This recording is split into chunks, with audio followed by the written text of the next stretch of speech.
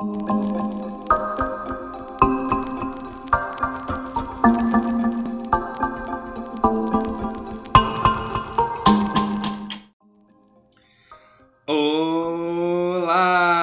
muito bom dia, boa tarde, boa noite.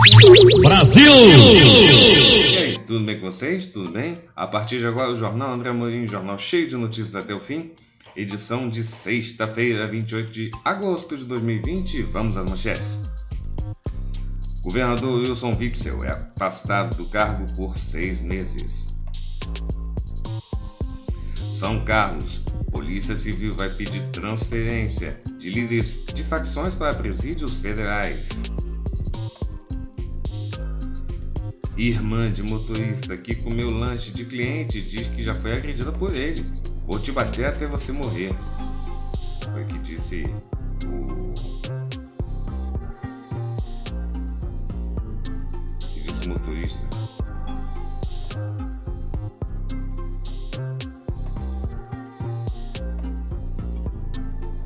Namorado é preso. É, é, namorado é preso suspeito de matar jovem encontrado em Matagal após desaparecer.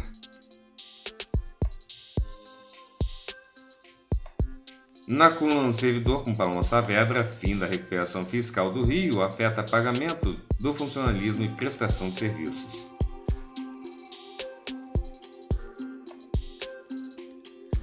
Flor de Lis perde contrato com gravadora após acusação de ser mandante de morte de marido. Na coluna Futebol Esporte Companhia, Flamengo estuda equação financeira para tentar tirar a lateral do Atlético Mineiro.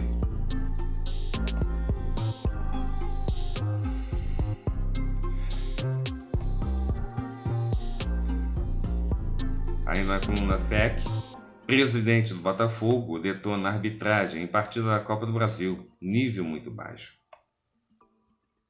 Ainda na coluna FEC, goleiro Bruno comete falha bizarra durante seu segundo jogo por time do Acre. Na coluna Gaza, Arnaldo Sacomani morre em São Paulo.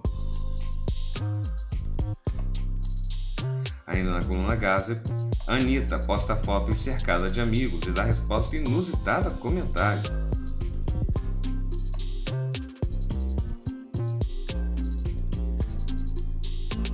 Na coluna Gaza, não gostou. Nego do Borel reclama que Anitta e Neymar não o convidaram para passeio.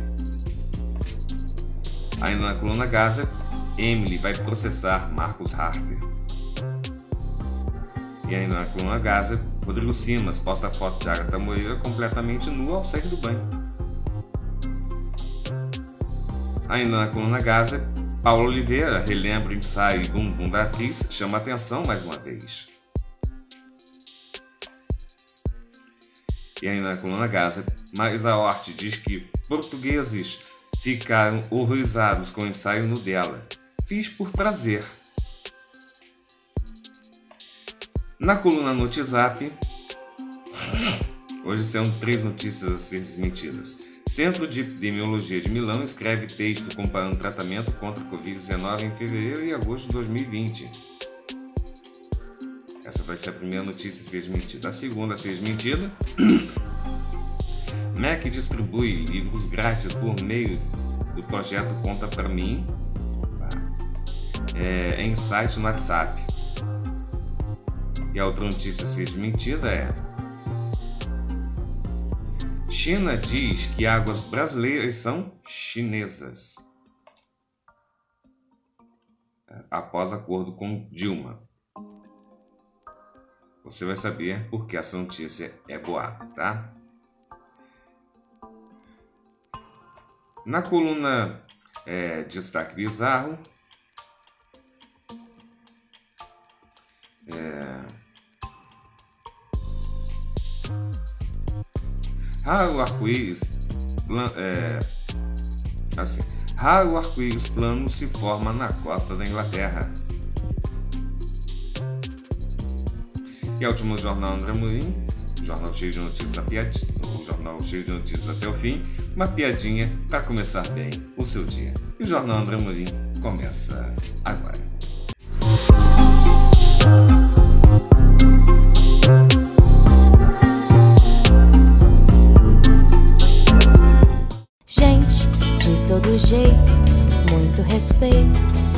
Com a gente.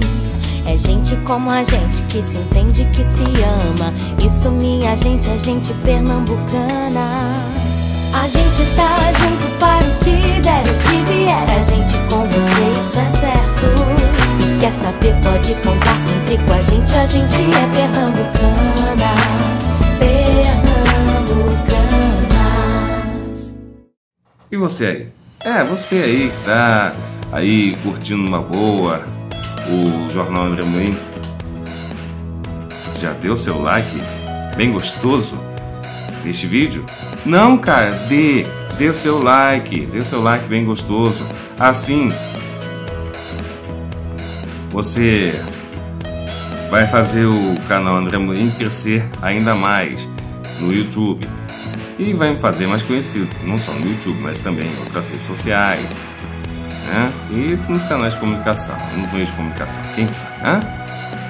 Ah, quer saber o, o nome do meu canal? Aqui está, ó, canal André Amorim. O canal cheio de vídeos até o fim. Canal André Amorim. Meu Amorim é com M de mamãe final, tá? Canal André Amorim. Simples assim. Ah, já badalou, já deu a badalada sininho? Blim, blim. É, ative as notificações. Clica no sininho para ativar as notificações para receber em primeira mão os vídeos do nosso jornal André Morim e quem sabe, né, dos meus vídeos aleatórios. Hum? E agora, as notícias,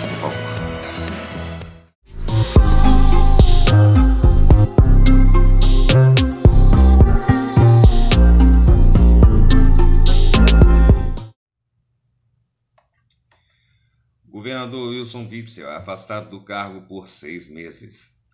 Witzel é investigado por desvios na saúde do Estado durante a pandemia. O Superior Tribunal de Justiça, STJ, afastou o governador Wilson Witzel do cargo nesta sexta-feira por seis meses. O afastamento do governador aconteceu por causa das investigações da Procuradoria-Geral da República, PGR, sobre o envolvimento dele em desvios na saúde do Estado durante a pandemia do novo coronavírus, Covid-19. O vice-governador do Estado do Rio, Cláudio Castro, deve assumir o governo.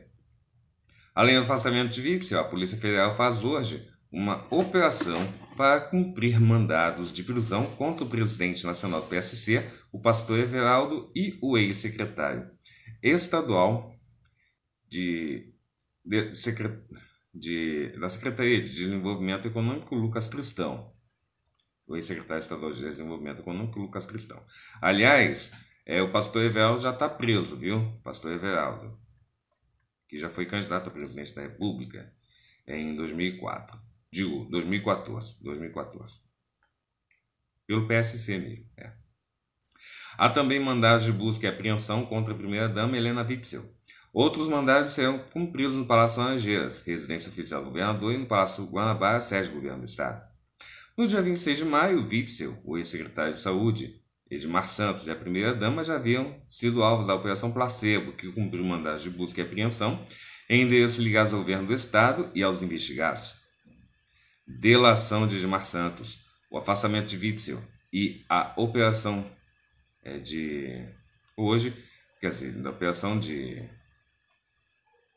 de sexta-feira, dia 28, no caso, né, teriam sido resultados da delação premiada que o ex-secretário Edmar Santos fechou com a PGR, Edmar foi preso no último 10 de julho, último dia 10 de julho, em desdobramento da Operação Mercadores do Caos. Ele é apontado por fazer parte de uma quadrilha que desviou 36 milhões 922 mil 920 reais dos cofres públicos do Estado, envolvendo organizações sociais, OSs. O ex-secretário foi solto, foi solto no dia 6 de agosto. A delação de, de Edmar Santos foi homologada pelo STJ, para quem o ex-secretário prometeu confirmar a existência de um esquema de corrupção no governo do Estado. Edmar disse que tinha áudios de conversas com Witzel, o pastor Everaldo e com deputados da Alerj.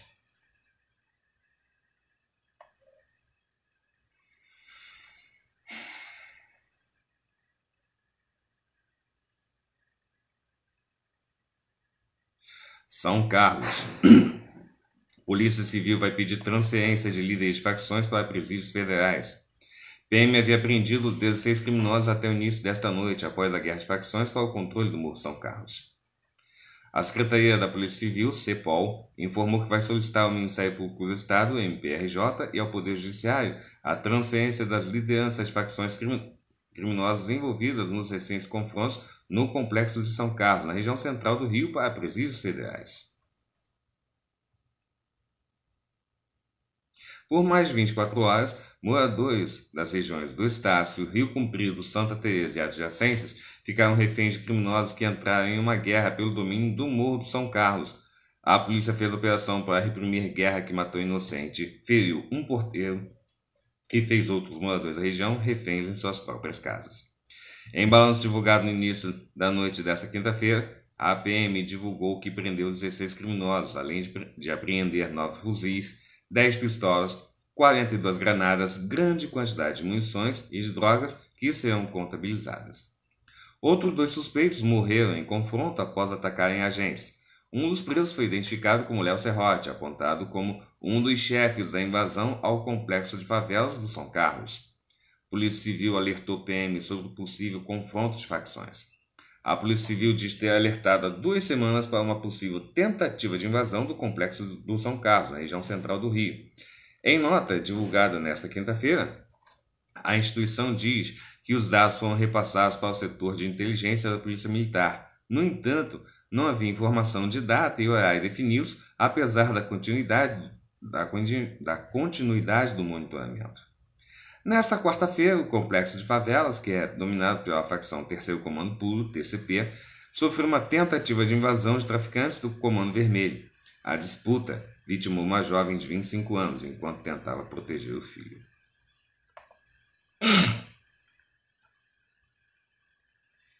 Irmã de motorista que comeu lanche de cliente diz que já foi agredida por ele. Vou te bater até você morrer.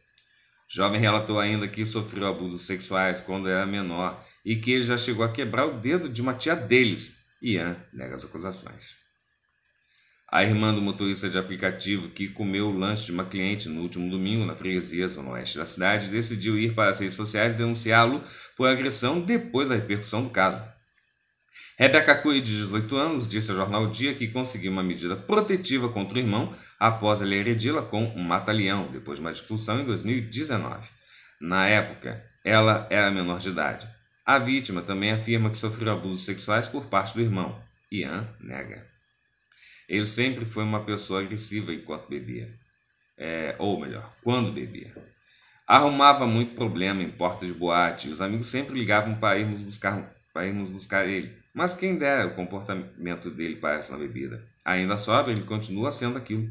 Hoje em dia ele não bebe, entrou para a igreja e se diz um homem bom, mas continua esse monstro, contou Rebeca. A irmã do motorista relata que no dia 25 de julho de 2019 se desentendeu com Ian, que a enforcou tentando fazer com que ela desmaiasse e a ameaçou dizendo que ia bater nela até ela morrer caso a mesma tentasse algo contra ele. Eu consegui me soltar e fui correndo para o outro lado da rua, onde fica uma cabine da polícia. O Ian tentou fugir, mas depois de muita briga fomos para a delegacia e consegui a medida protetiva contra ele, que ainda está valendo, continua a vítima. Rebeca diz que uma semana depois foi chamada no juizado de menores para depor, pois o irmão tinha denunciado ela por agressão. O Ian tem 1,80m de altura, é lutador e tem 12 anos a mais do que eu. Eu tinha 17 anos e ele 29 quando isso aconteceu. Hoje tenho 18 e ele 30. A delegada entendeu os fatos e arquivou o caso dele contra mim. Ele foi, ele foi tão cara de pau que me denunciou e fez até exame de corpo de delito para tentar provar algo. A jovem contou ainda que Ian, além de agredi-la, também já chegou a quebrar o dedo de uma tia deles durante uma discussão. Depois disso, minha tia denunciou ele e foi resolvido no juizado de casos menores. Eles chegaram até a fazer uma terapia de reconciliação para se resolver, mas quase minha família toda se afastou dele de alguma forma, afirma a jovem.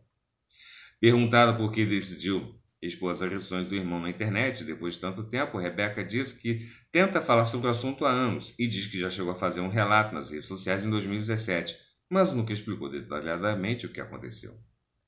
Depois que vi a repercussão do episódio do cachorro quente, tive coragem. Vi todo mundo julgando ele e pensei que seria o momento certo. Eu tento ganhar voz com isso há muito tempo. Sempre foi uma discussão em família, porque nunca achei certo uma pessoa fazer o que fez e continuar andando livre, ter direito de trabalhar e viver, e eu ser obrigado a viver com medo, relata.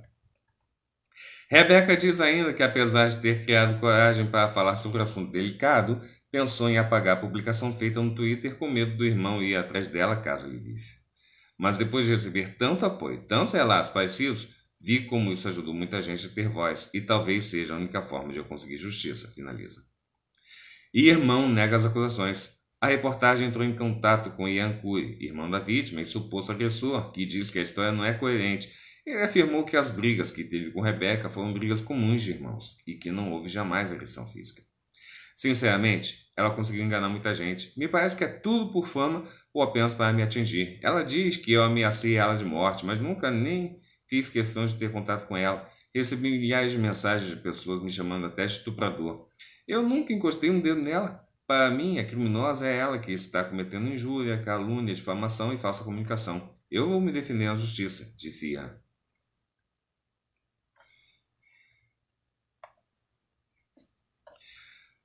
Namorado é suspeito, ou melhor, namorado é preso, suspeito de matar jovem encontrado em Matagal após desaparecer. Ele negou o crime, mas confirmou que foi a última pessoa a vê-la. Mato Grosso. O principal suspeito do assassinato de Oiane dos Santos Barbosa, de 28 anos, encontrado em um matagal na última quinta-feira, dia 20, foi preso nesta quinta-feira em Varza Grande, em Mato Grosso. Se trata-se do namorado da jovem. As informações são do site G1. O corpo de Oriane foi encontrado em um matagal quatro dias após ela desaparecer no dia 16 de agosto já havia um mandado de prisão preventiva contra seu namorado, expedido pela vara da violência doméstica de Cuiabá. Ele negou o crime, mas confirmou que foi a última pessoa a vê-la, que a viu passando mal e que não pediu socorro. Na coluna do servidor de Paloma Saavedra, fim da recuperação fiscal do Rio afeta pagamento do funcionalismo e prestação de serviço. O Estado apresentou dados que comprovam ajuste fiscal de 26 bilhões de reais entre setembro de 2017 a junho de 2020 e tenta prorrogar acordo financeiro com a União até 2023. Em busca da prorrogação do regime de recuperação fiscal, RRF, por mais três anos, a Secretaria Estadual de Fazenda do Rio apresentou nesta quinta-feira números que apontam um ajuste nas contas da ordem de 26 bilhões de reais Apesar disso, há um impasse com a União, que ainda não se manifestou sobre a continuidade do acordo até 2023, é, como defende o governo fluminense. Se o Rio for excluído do regime já no próximo mês, não haverá recurso para pagamento de servidores e a prestação de serviços públicos será afetada, como ressaltou mais uma vez o titular da Fazenda, Guilherme Mercedes.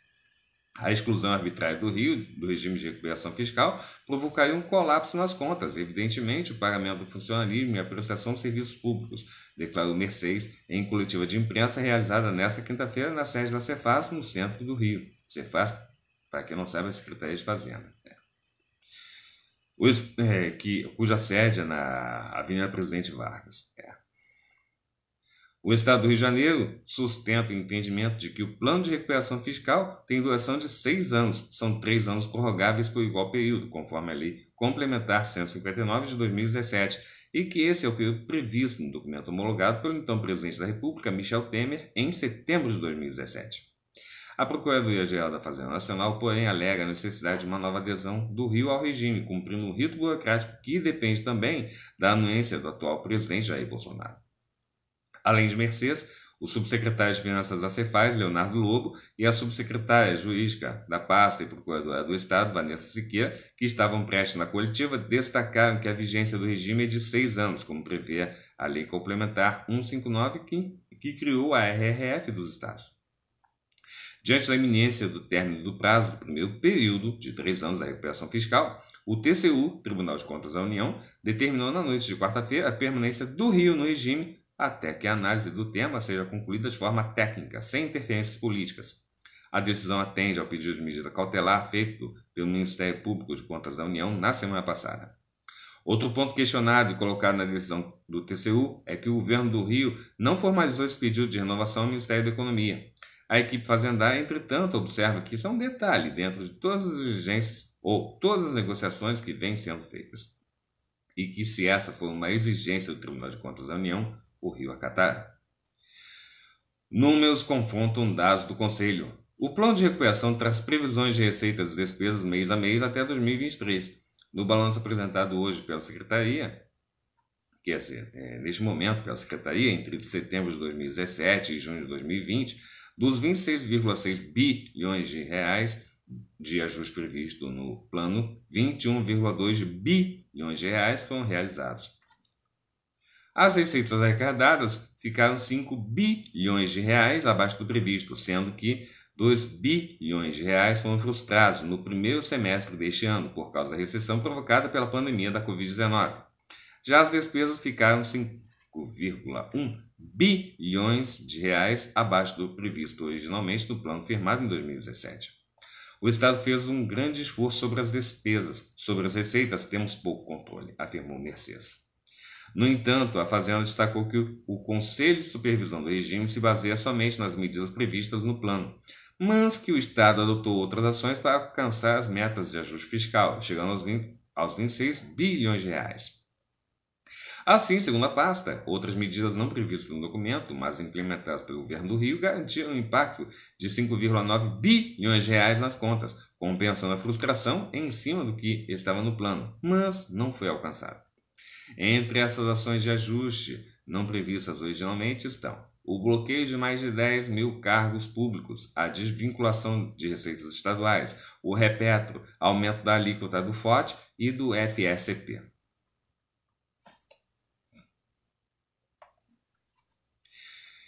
Flor de Lis perde contrato com gravadora após acusação de ser mandante de morte de marido.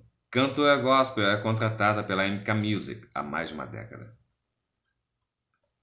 A gravadora gospel MK Music que, na, que antigamente a MK Publicitar, informou na tarde desta quinta-feira que a cantora Flor de Lis não faz parte do seu grupo de artistas contratados. O anúncio foi feito três dias após a deputada federal e pastora ser indiciada como mandante do assassinato do seu marido, o pastor Anderson do Carmo, em junho do ano passado. A MK Music é do senador Aldi de Oliveira e de Evelise de Oliveira, esposa do parlamentar. Flor de Lis foi incorporada ao grupo de artistas da gravadora Gospel há mais de 10 anos, em 2009. O anúncio do rompimento do contrato com a pastora foi feito nas redes sociais e no site da empresa. Depois de um ano e dois meses de investigação, Flor de Lis, do PSD do Rio de Janeiro, de 59 anos, vai responder à justiça como a mandante do assassinato do próprio marido, de 42 anos, em junho do ano passado. Além de ser apontada como a responsável pelo crime, a parlamentar e a família foram alvos nesta segunda-feira da Operação Lucas 12, que o Ministério Público Estadual, MPRJ, e a delegada de homicídios de Niterói, São Gonçalo Itaboraí, DHN-SGI, fizeram sobre o caso. Seis familiares da deputada foram presos e 14 mandados de busca e apreensão sobre a morte do líder religioso foram cumpridos na casa da parlamentar em Niterói e em outros endereços ligados a ela em São Gonçalo, na capital e até mesmo Brasília. Os mandados foram expedidos pela terceira vara criminal de Niterói. Houve apreensão de celulares e computadores. A deputada não foi presa por causa do furto privilegiado. Aliás, ela, ela é deputada federal pelo Rio de Janeiro. É. E foi a primeira e foi a primeira colocada entre as candidatas mulheres ao cargo é, na eleição passada, na eleição de 2018 aqui no Rio, pelo PSD.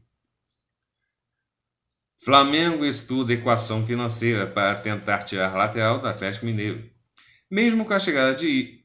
Ih, perdão.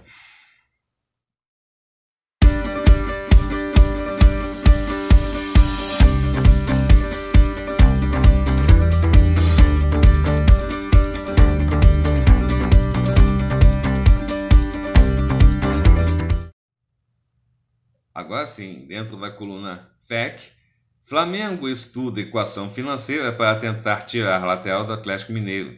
Mesmo com a chegada de Isla, Rubro Negro deseja a contratação do jogador. O Flamengo segue de olho na contratação do lateral direito Guga do Atlético Mineiro. Segundo o portal UOL, a cúpula rubro-negra tem mantido contato com o staff do atleta para tentar chegar à equação financeira para viabilizar o negócio. O Galo deseja ter 5 milhões de euros, ou 33,2 milhões de reais na cotação atual. à vista, mas os cariocas desejam pagar o valor de forma parcelada. Até o momento, não houve proposta oficial do Atlético Mineiro por Guga. A ideia do Flamengo é apresentar uma breve proposta que se aproxime do que o time mineiro deseja para abrir negociações, mas sem cumprir todas as exigências. Mesmo com a chegada de Isla, o Flamengo busca outro lateral direito para compor o elenco.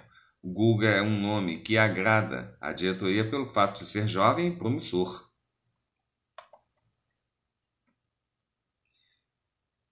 Galvão Bueno elogia o momento do Vasco e diz que Flamengo paga por erros da diretoria. Narrador da Globo analisou o atual momento dos clubes do Rio. O narrador da Rede Globo, Galvão Bueno, abordou em participação no Seleção Sport TV momento vivido por Flamengo e Vasco na temporada.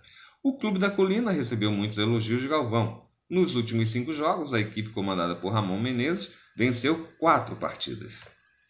O o Vasco passa por um momento financeiro muito difícil, mas com a chegada do, do Ramon, com a história que tem no clube, pode realizar um trabalho muito bem feito. O trabalho do Vasco até este momento é excepcional. O Vasco tem tudo para ser o líder do campeonato. Com justiça ao Inter, mas o Vasco tem 10 pontos e um jogo a menos. Elogiou. Vivendo um momento diferente está o Flamengo, atual campeão brasileiro e da Libertadores, a equipe comandada por Domenic Torrent faz campanha irregular no começo do campeonato nacional. Na opinião de Galvão, o rubro-negro está pagando por erros da diretoria. O momento do Flamengo está diretamente ligado às atitudes da direção. Forçaram demais a barra para o retorno carioca. Imaginava um torneio que se ia jogar em Brasília, que acabou não acontecendo. O Flamengo ficou 28 dias sem jogar, perdeu o ritmo. O contrato com o Mister foi mal feito, porque tinha de ser um contrato que forçasse a levá-lo por peso de multa para a janela de meio de temporada na Europa. O Flamengo viveu um vazio de 28 dias e está pagando por isso. O momento do Flamengo é complicado, analisou.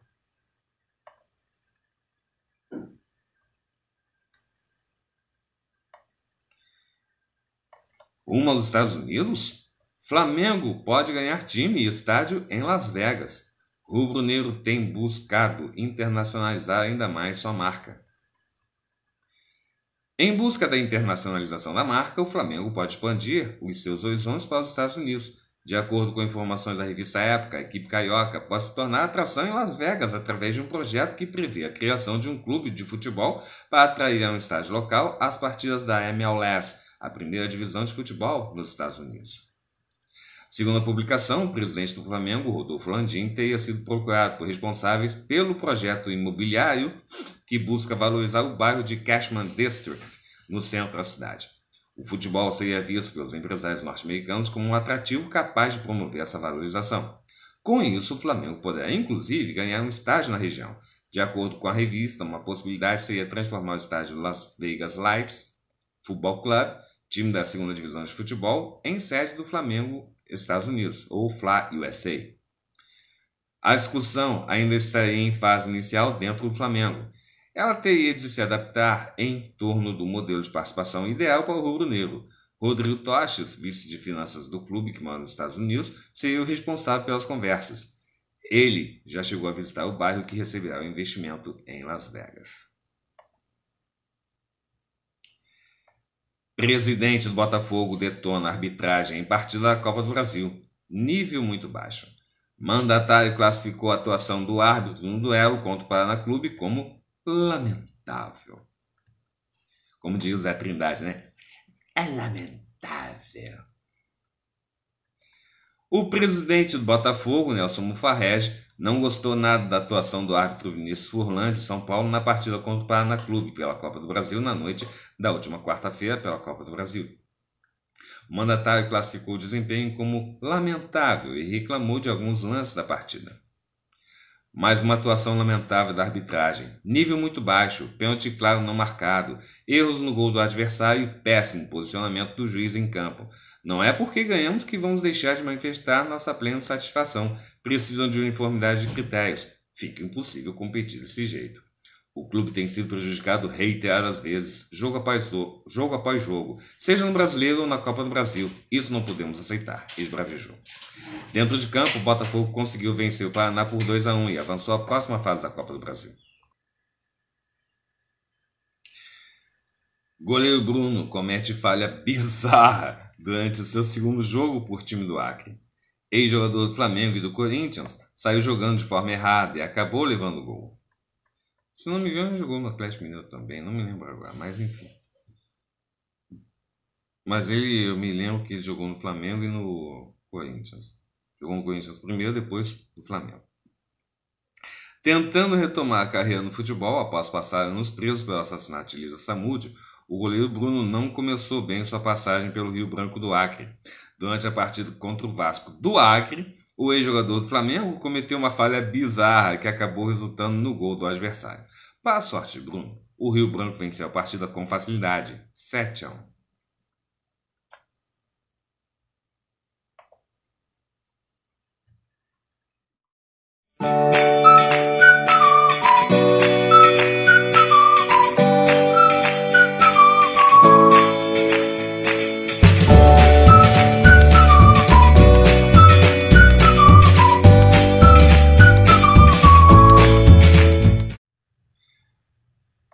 Arnaldo Sacomani morre em São Paulo. Thais Sacomani, que é a cantora, começou a cantar para o pai e ele partiu sorrindo. Arnaldo Sacomani morreu nesta madrugada, dia 20, é, quer dizer, na madrugada de quarta, dia 26 para quinta, dia 27, em Indaiatuba, no interior de São Paulo. O produtor musical de 71 anos era diabético e fazia um tratamento renal desde julho.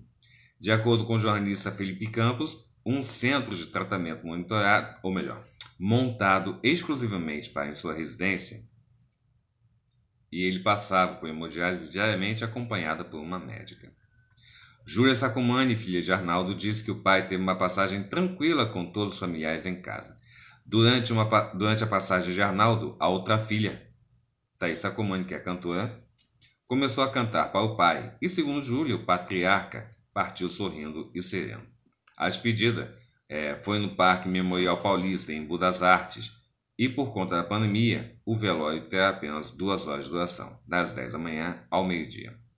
Além de produtor musical, Sacomani já foi jurado nos programas Ídolos, é, é, Aspros, Qual é o Seu Talento e também do programa do Ratinho. Quatro programas do SBT. É. O, o produtor musical e jurado Arnaldo Sacomani.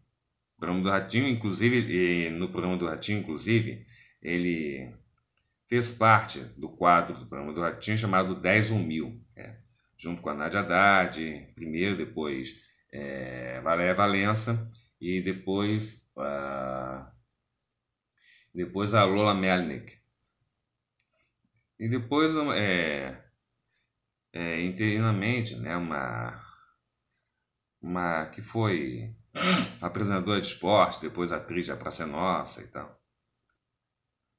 Que agora esqueci o nome dela. Mas junto, com, junto também com Pedro Manso, com Leão Lobo, com Despitinini, né? Aliás, Pedro Manso chegou a, que chegou a ser substituído algumas vezes pelo Cabrito Teves, né? que é o, aliás, que é o de cabelo deve não, minto, o Alexandre Porpetone, que faz alguns personagens, né? O Alexandre Porpetone, como Gabriel Teves, por exemplo, né?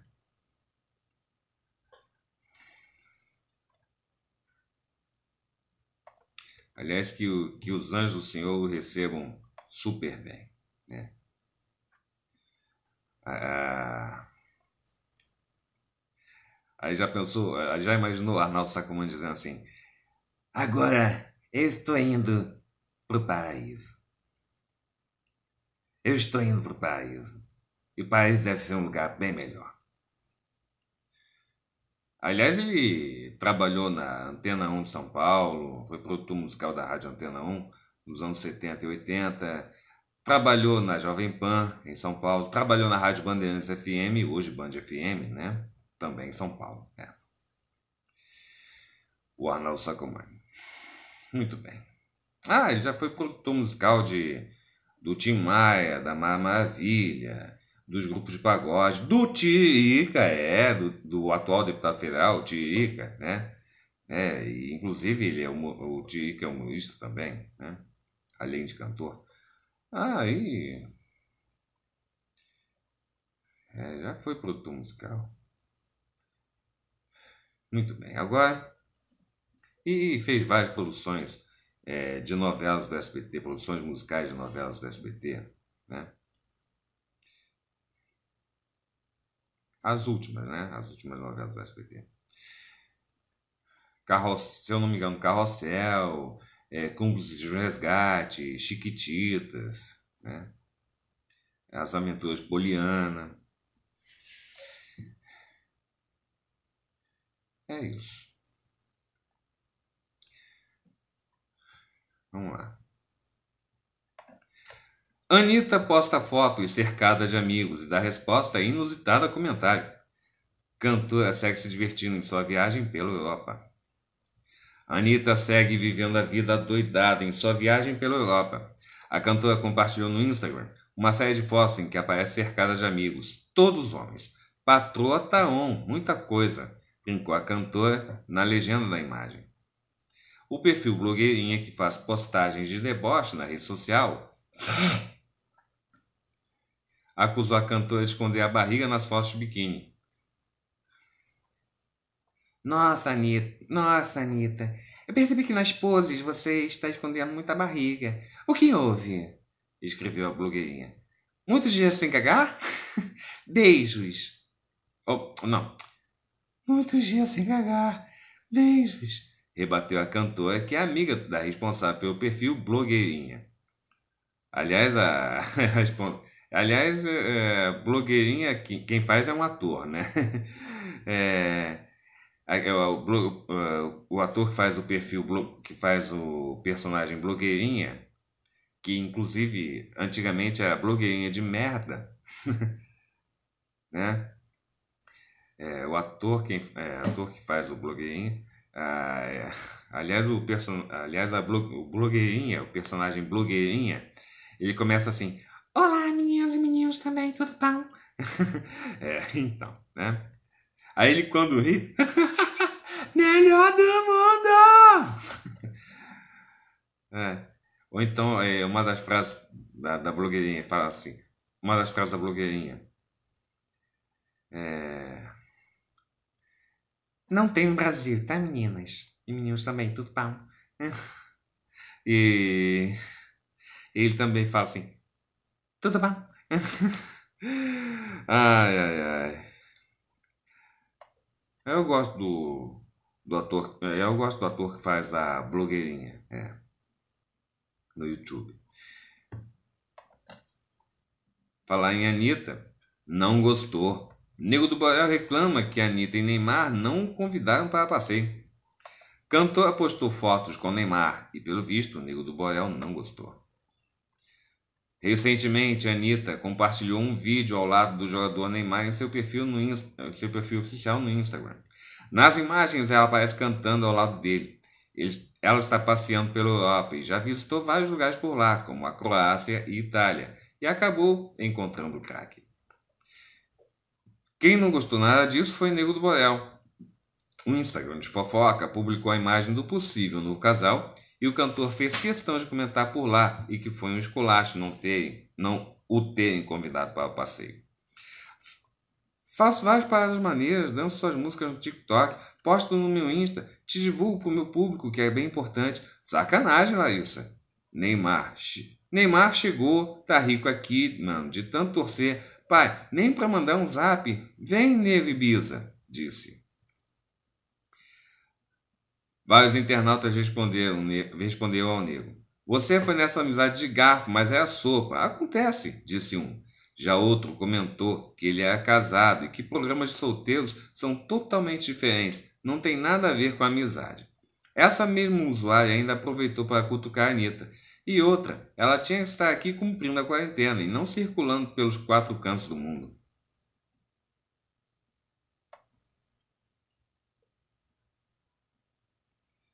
Muito bem. Emily vai processar Marcos Harter. A advogada da apresentadora diz que médico continua com campanha vexatória contra a honra da campeã do BBB 17. Emily Araújo foi surpreendida com um vídeo vazado nesta quarta-feira, dia 26, uma gravação feita dentro do confessionário BBB 17. Nas imagens, a ex-participante e campeã daquela edição relata a uma advogada e a um médico do programa as agressões que supostamente vinha sofrendo do participante Marcos Harter, que acabou sendo expulso do reality há três dias da final. A repercussão fez com que o médico Harter se pronunciasse sobre o assunto e acusasse a apresentadora também com agressão. A coluna procurou Emily, que se manifestou através de seus advogados. A defesa da atual apresentadora do, do Top Z no YouTube garante que vai processar o ex-brother. Aliás, o Top Z aqui também é exibido pela Rede TV, né? no, no, no programa Peanuts, Espaço Peanuts, alguma coisa assim. Lamentável a postura adotada pelo Dr. Marcos Harter, o qual continua com uma verdadeira campanha vexatória contra a honra de Emily, ao proferir acusações levianas sem nenhum lastro probatório. Harter não pode contorcer seu direito de defesa para proferir ataques contra Emily. Todas as medidas judiciais possíveis serão adotadas para romper com esse círculo pernicioso, explicou a coluna o advogado Paulo Vitor Lima, do escritório de Felipe Santa Cruz. Em seu pronunciamento após as imagens de Emily no confessionário viralizarem nas redes sociais, Marcos Harter disse o seguinte: Eu saí do programa com os meus braços com, com meus braços cheios de marcas das unhas de Emily, e isso nunca foi levado em consideração, além das outras agressões que ela fez contra mim, e isso nunca foi abordado pela Globo. Outra questão é, se de fato Emily foi agredida, por que as mais de 200 câmeras do programa não conseguiram registrar tais cenas e estas nunca vieram ao público? Garanto que nunca virão, pois não existem. A, a coluna procurou a TV Globo, que se manifestou sobre o vazamento das imagens através do seguinte comunicado. A Globo tem rígidas medidas de segurança da informação constantemente revistas. No caso específico dessas imagens, em cumprimento a uma determinação judicial, elas foram entregues às autoridades competentes na ação, por, na ação movida pelo ex-participante do BBB Marcos Harter contra a Globo.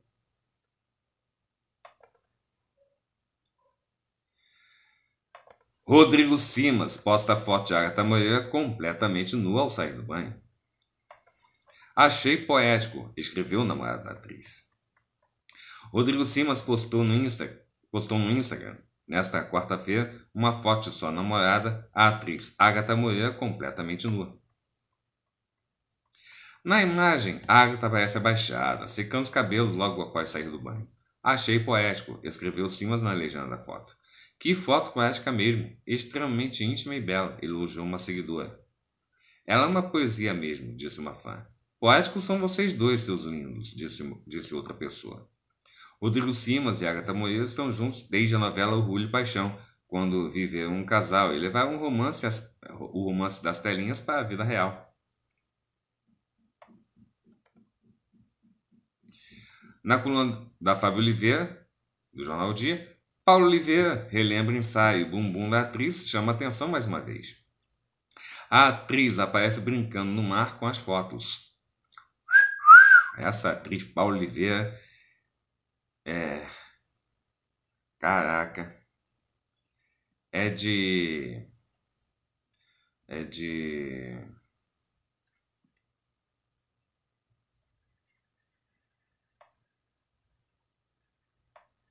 É,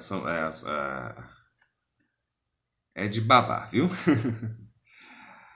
Paulo Oliveira não esconde que anda com muitas saudades de uma praia. E nesta quinta-feira, dia 27, ela relembrou um dos seus ensaios no mar nas redes sociais. Nos cliques, a atriz aparece brincando com a água. E o que chama a atenção dos seguidores é a bumbuna famosa, que já viu o assunto nacional há cinco anos. Quem não se lembra da cena eternizada na tela da dramaturgia na minissérie Feliz para Sempre, quando a sua personagem Dani Bond surge de fio dental na varanda de uma cobertura. E no fundo, né, uma, uma cortina, né?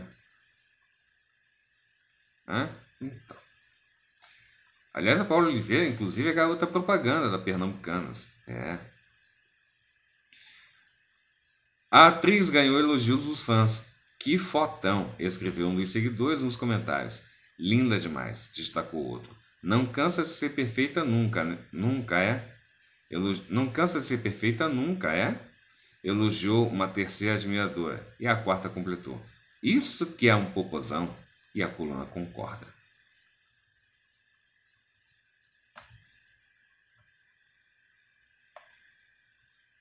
E para fechar a coluna Gaza, mas a Hort diz que portugueses diz que portugueses ficaram horrorizados com o ensaio nu dela. Fiz por prazer. A atriz contou que os fãs de Portugal não entenderam os motivos de ela ter decidido posar para a Playboy. Mas a Hort contou a reação inusitada que os fãs portugueses tiveram ao ver o ensaio nu dela feito em 1997. A atriz lembrou durante o programa Saia Justa do GNT da primeira vez que esteve no país europeu. Eu era bem famosa lá por causa do site baixo. Os portugueses ficaram muito horrorizados por eu ter feito a Playboy. Eles me perguntavam, mas, mas precisaste sim do dinheiro? Marido continuou. A atriz que está no ar no Zoa falou que ela fez o ensaio por prazer, mas os portugueses não conseguiam compreender isso e achavam um ato indecente. Ao contrário dos europeus, a artista considera mais indecente posar nua por dinheiro. Imagine que coisa triste uma pessoa que não quer posar nua, uma mendiga que só tem a beleza do corpo para vender e é obrigada a fazer isso chorando. Não, eu fiz porque eu quis, ela argumentou. O corpo é meu e os negativos do ensaio para publicação são meus até hoje. A revista é assumidamente dedicada ao público masculino e eu sou minha própria gente, a minha própria cafetina, Marisa Hort completou.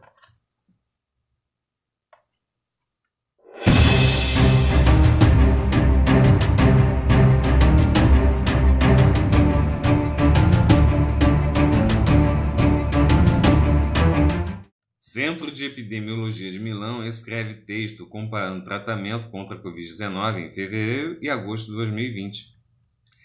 Centro de Epidemiologia de Milão, na Itália, escreveu um texto informando cinco motivos de por que há mais chances de sobrevivência da Covid-19 em agosto de 2020 do que havia em fevereiro de 2020. Estamos quase completando seis meses do anúncio do primeiro caso de infecção pelo novo, já que não é mais tão novo, coronavírus no Brasil. Com mais de 100 mil mortos, o país ainda sofre com as consequências da doença e de uma má gestão dela. Porém, nesse período pode-se aprender muita coisa para combater a Covid-19. Ainda não temos vacina ou mesmo um remédio 100% eficaz contra a doença, mas é fato que médicos estão sabendo combater a doença de uma forma mais eficaz. Neste cenário, um texto começou a circular na internet e dá conta de que o Centro de Epidemiologia de Milão escreveu um texto apontando os motivos para a queda da letalidade da doença. Confira a mensagem que circula online. Vale a pena do Centro de Epidemiologia de Milão. Para esta pandemia, há uma probabilidade maior de sobrevivência para aqueles que serão infectados cinco meses depois, como em agosto de 2020, do que para aqueles que foram infectados cinco meses antes, digamos em fevereiro de 2020. A razão para isso é que médicos e cientistas sabem muito mais sobre Covid-19 agora do que cinco meses atrás e, portanto, são capazes de tratar melhor os pacientes. Vou listar cinco aspectos importantes que sabemos agora e que não conhecíamos em fevereiro de 2020. Primeiro, o Covid-19, na verdade não é o Covid-19, é a Covid-19. Foi inicialmente pensado como causador de mortes por pneumonia, uma infecção pulmonar, e assim os ventiladores foram considerados a melhor maneira de tratar pacientes doentes que não podiam respirar. Agora sabemos que o vírus causa coágulos sanguíneos nos vasos sanguíneos dos pulmões e outras partes do corpo, que provoca oxigenação reduzida. Agora sabemos que simplesmente fornecer oxigênio por meio de ventiladores não vai ajudar, mas temos que prevenir e dissolver microcoágulos nos pulmões. É por isso que estamos usando medicamentos como aspirina e heparina, anticoagulantes que evitam a coagulação, como um protocolo nos regimes de tratamento a partir de julho de 2020. Anteriormente, os, é, segundo, Anteriormente, os pacientes caíam mortos na rua ou mesmo antes de chegarem ao hospital devido à redução do oxigênio no sangue, saturação de oxigênio. Isso aconteceu pelo que é conhecido como REP hipóxia, onde, embora a saturação de oxigênio fosse gradualmente reduzida, os pacientes com Covid-19 não apresentavam sintomas até que estivessem criticamente reduzidos, como às vezes em até 70%. Geralmente, é, ficamos sem fôlego se a saturação de oxigênio cair abaixo de 90%. Essa falta de ar não é desencadeada em pacientes Covid e é por isso que trouxemos pacientes doentes aos hospitais no final de fevereiro de 2020. Terceiro, não tínhamos medicamentos para combater o coronavírus em fevereiro de 2020. Tratamos apenas complicações causadas por hipóxia. É, portanto, a maioria dos pacientes ficou seriamente infectada. Agora temos dois medicamentos importantes, favipravir ou favipiravir e remdesivir, que são antivirais que podem matar o coronavírus. Usando esses dois medicamentos, podemos evitar que os pacientes se infectem seriamente e, portanto, curá-los antes de ir para a hipóxia. Tivemos esse conhecimento em agosto de 2020, não em fevereiro de 2020. Quarto, muitos pacientes com Covid-19 morrem não apenas por causa do vírus, mas também pela resposta do próprio sistema imunológico dos pacientes de uma forma exageradamente chamada de tempestade de citocina. Essa violenta tempestade da resposta imunológica não apenas mata o vírus, mas também mata pacientes. Em fevereiro de 2020, não sabíamos como evitar que isso acontecesse. Agora, em agosto de 2020, sabemos que os medicamentos facilmente disponíveis, chamados esteroides, que médicos em todo o mundo vêm usando há quase 80 anos, podem ser usados para prevenir a tempestade de citocinas em alguns pacientes. 5. Agora também sabemos que as pessoas com hipóxia melhoram apenas fazendo com que deitem de bruço, que é conhecido como posição prona. Além disso, alguns dias atrás, cientistas israelenses descobriram que uma substância química conhecida como alfa-defensin produzida pelos glóbulos brancos pode causar microcoágulos nos vasos sanguíneos dos pulmões. E isso poderia ser prevenido por um medicamento chamado colchicina, usado por muitas décadas no tratamento da gota. Portanto, agora sabemos com certeza que os pacientes têm uma chance melhor de sobreviver à infecção por Covid-19 em agosto de 2020 do que em fevereiro de 2020. Continue tomando precauções. Saia apenas para o essencial. Não há festa, chá de bebê ou formatura do jardim de infância essencial. Vamos para ser superficiais. É melhor estar infectado daqui a, daqui a mais seis meses do que agora. Vamos dar tempo à ciência para nos ajudar e ao sistema de saúde a descongestionar. Atualmente também é necessário analisar a saturação hospitalar e o desgaste físico e mental do pessoal de saúde, informações bate-papo de especialistas da Covid-19. Agora vamos falar sério. Será que o Centro de Epidemiologia de Milão escreve texto comparando tratamento contra a Covid-19 em fevereiro e agosto de 2020? É fato que a mensagem, inclusive trechos suprimidos, acerta em muitas informações que precisamos destacar antes de derrubar o que há de falso. Primeiro, é fato que é melhor pegar a doença daqui a seis meses do que hoje, quando teremos, quem sabe, até uma vacina ou um remédio eficaz. É fato que o isolamento e o uso de máscaras são importantes. Terceiro, é fato sim que a ciência e a medicina estão utilizando a curva de aprendizado prático para combater a morte. Quarto, é fato que a taxa de letalidade o número de mortes em relação ao número de casos diminuiu, porém há também de informações erradas na mensagem. Para começar, vamos falar no texto de âmbito geral. Não é possível aferir a queda na taxa de letalidade da Covid-19 apenas a melhora de tratamento. Esse é um dos fatores. Os outros são o aumento da testagem, com mais casos confirmados em pacientes assintomáticos ou com sintomas leves, a letalidade cai, e ao fato da Covid-19 atingir países com menor número de pessoas acima de 80 anos em relação, por exemplo, à Itália, pega em cheio pela doença em março. Não bastasse isso, os aspectos citados estão, no mínimo, imprecisos. Sobre o item 1, a impressão de que todas as mortes são causadas pela coagulação e que a pneumonia não é o mais preocupante, que respiradores não são importantes. A informação não procede. Os respiradores ainda são essenciais em alguns casos de tratamento da doença e a pneumonia causada pelo coronavírus ainda mata muita gente infelizmente. Há um fake muito parecido com esse desmentido no boatos.org. Sobre o item 2 está quase tudo certo. O que não está certo é o trecho que fala que pacientes caíram mortos na rua por Covid-19. Na realidade, essa ideia vem de um vídeo falsamente atribuído a doença por coronavírus na China. Ele foi desmentido também, é no site boas.org. O item 3 erra ao dizer que há remédios que curam com 100% de eficácia a doença. Apesar de serem apontados como possíveis remédios para o tratamento, o Remdesivir e Favipiravir ainda não têm a eficácia 100% comprovada. Os itens 4 e 5 estão quase certos. O único escorregão, por assim dizer, está na recomendação de remédios. A colchicina, por exemplo, pode causar problemas graves à saúde se tomada indiscriminadamente. Como vocês viram, o texto tem um cadinho de incorreções, mas existem mais dois erros decisivos para que ele chegasse ao boas.org. Primeiro, nem a comparação em questão é entre fevereiro e agosto. Segundo, nem a autoria do texto é do Centro de Epidemiologia de Milão.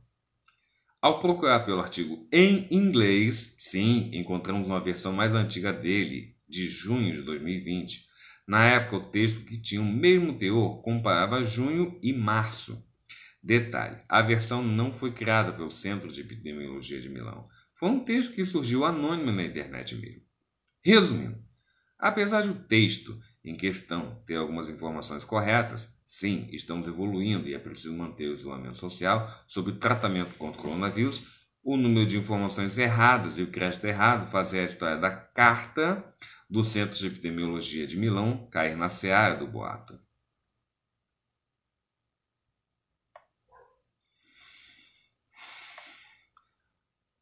Uma outra notícia que será admitida agora. MEC distribui livros grátis por meio do projeto Conta para mim em site no WhatsApp. O Ministério da Educação está distribuindo livros grátis por meio do projeto Conta para mim. Para ter acesso ao benefício é preciso entrar em um site e compartilhar um link com amigos no WhatsApp. Há poucos instantes, o Boas.org desmentiu uma série de informações falsas relacionadas aos supostos benefícios do governo. Nem bem fizemos desmentir, estamos sendo obrigados a reforçar um deles o que aponta que o MEC, por meio de um projeto chamado Conta para mim, está dando, Conta para mim está dando livros grátis. De acordo com uma mensagem que está circulando no WhatsApp, o Ministério da Educação está fazendo uma ação para a doação de livros infantis. A mensagem tem um link para um site. Na versão que vimos é o site alfabetizacal.mec. É, minto, minto. Alfabetização-mec-gov.com. Confira a mensagem que está circulando online. O MEC, Ministério da Educação, está distribuindo gratuitamente em todo o Brasil a coleção de livrinhos do projeto Conta para mim. Incentiva a leitura em sua casa. Para ganhar, basta fazer o cadastro no site do projeto. Aí o site já dito por mim, né?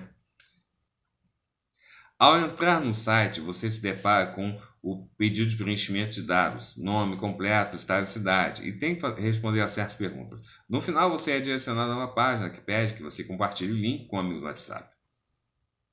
Mac, conta para mim, programa Renada Brasil. Renada, é Renda, é Renda Brasil, mas é, é, é, digitaram erradamente. Programa Renada Brasil. Preencha o formulário abaixo e receba em sua casa a coleção completa de livrinhos. E informe seu nome completo, informe seu estado, informe sua cidade, quantas crianças moram com você. Clique para, para, para selecionar. Estão todos matriculados na escola? Conta para mim. Bem-vindos ao projeto Conta para mim. Confie os dados abaixo e em seguida clique em confirmar para informar o endereço da entrega. Você ganhou inscrições até 28 de agosto de 2020. Enviaremos os livrinhos, os livrinhos via correios. Compartilhe para avançar. Meu que os Correios estão em greve, né, gente? É, para informar o endereço de entrega e garantir sua coleção de livrinhos, compartilhe o projeto Conta para mim com seus contatos do WhatsApp e receba acesso imediato. Compartilhar. Agora vamos falar a verdade. Será que MEC está distribuindo livros grátis por meio do projeto Conta para mim? Conta para mim em site no WhatsApp? Se você leu nosso último artigo, já deve estar sabendo a mensagem que aponta para a, tal, para a tal doação de livros por parte do Ministério da Educação é falsa. Não só é falsa, como também já foi tratado no texto anterior, junto com outros textos. Na realidade, não há distribuição nenhuma de livros por parte do MEC. O que há é um golpe que tem dois objetivos. Faz, primeiro, fazer com que golpistas lucrem com publicidade nos sites falsos. Segundo, fazer com que os golpistas utilizem, em alguns casos, dados falsos dos internautas, Assim como sempre fazemos os casos de ofertas no WhatsApp, resolvemos buscar mais detalhes a respeito dos programas citados. Na realidade, o Conta para mim é um projeto do MEC que visa incentivar a leitura de crianças por meio de campanhas educativas.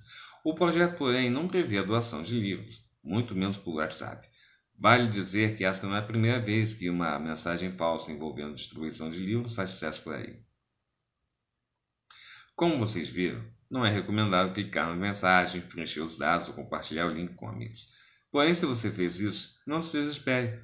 Confira o vídeo. É, não se desespere. Assim como em tantos outros casos, não é verdade que o Ministério da Educação está. Aliás, é, veja o vídeo abaixo, no, na matéria, MEC distribui livros grátis, é, é, com o que pode ser feito caso coisas estranhas passem a acontecer no seu aparelho.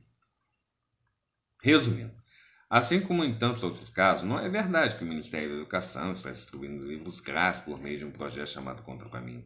Trata-se de mais uma mensagem falsa relacionada a benefícios do governo que circula no WhatsApp.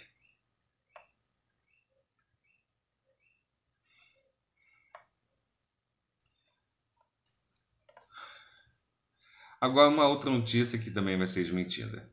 China diz que águas brasileiras são chinesas após acordo com Dilma. Chineses atacaram um barco brasileiro em águas brasileiras porque Dilma assinou um acordo que doou parte do nosso litoral para o governo da China. Quem está atento ao noticiário internacional sabe que os Estados Unidos e a China estão em guerra, não bélica, mas sim uma guerra comercial. Através de tarifas de importação e aumento de impostos, os dois países têm dificultado a compra e venda de produtos entre eles e, consequentemente, influenciado nos mercados do mundo inteiro. Mas, segundo uma história que estão compartilhando incansavelmente no Facebook, não é só com os Estados Unidos que os chineses estão arrumando confusão. De acordo com postagens e uma notícia compartilhada na web, o governo da China diz que as águas brasileiras são chinesas e até atacou uma embarcação brasileira na nossa própria costa. Confira parte da mensagem. China diz que as águas brasileiras agora são chinesas e quase afunda barco brasileiro. O embaixador da China explica o ataque a barco do Brasil. Segundo o embaixador da China no Brasil, Li Jinzhang, quem invadir a área de pesca chinesa foi o barco brasileiro Oceano, Pesca 1. Mesmo estando na costa do Brasil, já que no governo Dilma foi assinado um tratado onde o Brasil cedeu por 25 anos parte da costa brasileira para a pesca chinesa. Isso é muito sério, pois parece ser um recado chinês ao novo presidente, um recado bélico. Teremos enfrentamento de forças internacionais na Amazônia? Em um plano bem elaborado para tomar em nossas terras? Temos que manter as forças russas, americanas e chinesas longe daqui. Cliquem no link e assinem o blog, não querendo deixar o telefone. Coloquem qualquer número, mas confirme a assinatura no seu e-mail. Muito obrigado. Agora vem cá. Será que a China disse que as águas brasileiras são chinesas após acordo com Dilma? Que história bizarra, não? Parece até coisa de filme. Cenas de guerra no mar com trilha sonora de suspense, tipo o filme Dunkirk. Mas faz semelhança com o cinema. É verdade que a China diz que águas brasileiras são chinesas e que eles atacaram um barco brasileiro? Não é verdade. Mas também é. Oi? Calma. Vem junto que nós vamos explicar tudo. É verdade que um barco chinês atacou uma embarcação de pesca brasileira. A história foi noticiada e aconteceu com o barco Oceano Pesca 1, enquanto ele estava pescando atum. A embarcação chinesa se aproximou e bateu no barco Brazuca, que precisou retornar à costa antes do previsto por causa de avarias no casco. E é isso. E é, é aí que termina a parte verídica da história. Nas publicações que estão sendo replicadas, todas as informações que explicam o ataque foram retiradas desta matéria. Barco brasileiro atacado por embarcação chinesa em alto mar. Na verdade, foram copiadas ipsis literis desta notícia. Agora vamos esclarecer a parte que é mentira, a que nós mostramos acima. Não há nenhum relato ou publicação em sites confiáveis que mencione que a China disse que as águas brasileiras pertencem a eles. Aliás, o ataque não aconteceu em águas brasileiras, em águas brasileiras, mas sim em águas internacionais, a mais de 160 quilômetros de distância de Fernando de Noronha, ou seja, em alto mar, não a costa do Brasil. Vale dizer que o barco chinês que atacou o brasileiro é particular, assim como o barco brasileiro. Isso elimina a hipótese de ação do governo. Quanto à informação sobre a Embaixada da China, tudo balela também. Ao site fact-checking, aos fatos, representantes do órgão informaram que o embaixador chinês Li Jinshan não se pronunciou sobre o ataque. Além disso, não existe nenhum tipo de acordo assinado por Dilma em que ela doou águas brasileiras por 25 anos. Algo assim teria sido largamente coberto pela imprensa durante o governo da ex-presidenta e não encontramos simplesmente nada mencionado, nada mencionando tal doação ou venda. Para finalizar, basta uma olhada no texto, na parte que não é a cópia da notícia sobre o ataque, para perceber diversos erros de ortografia. O tom alarmista e até o clássico pedido de compartilhamento, ou melhor, pedido de assinatura de e-mail para o blog, o que dá na mesma. Portanto, o que dá no mesmo quer ser. Portanto, não é verdade que a China diz que as águas brasileiras são chinesas. Não houve acordo nenhum com a Dilma para fazer tal doação, embora um barco brasileiro tenha realmente sido atacado por uma embarcação chinesa, isso não ocorreu na costa do Brasil, mas sim em alto mar. Uma parte da história é cópia e a outra é totalmente hashtag boato.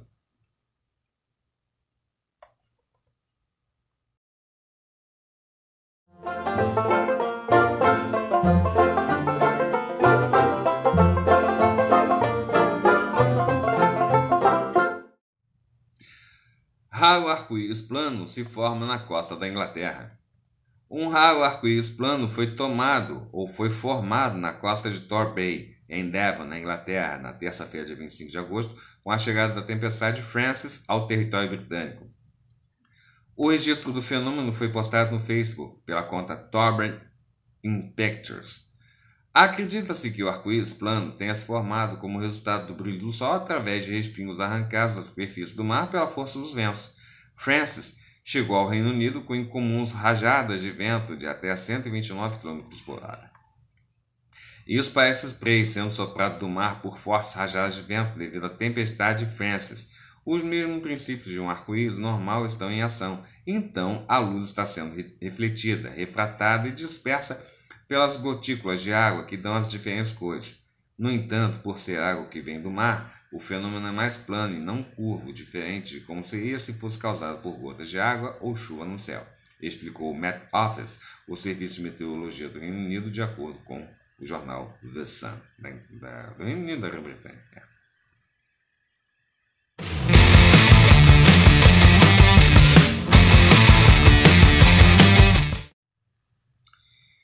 E a última do jornal André Mourinho, jornal cheio de notícias até o fim, primeiro dia na escola.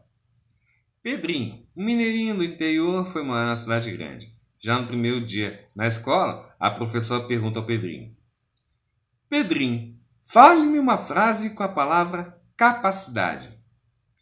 E o menino rápido responde: Eu morava na roça quando vim capacidade. Vim estudar. E com essa eu vou embora. Muito obrigado pela companhia e pela audiência. O Jornal André Morim, edição de sexta-feira, 28 de agosto de 2020. Fica por aqui um super beijo bem gostoso para vocês. Um forte abraço e até a edição de sábado, 29 de agosto de 2020, se Deus quiser e os anjos do Senhor permitirem. Tchau, pessoal. A gente se vê por aqui. Melhor dia da vida de vocês, abençoados e abençoados. A cobertura angelical com vocês, viu? Assim é, Abba Pai. Nós não somos os criadores do universo, mas com certeza somos filhos do grande Criador. Fui.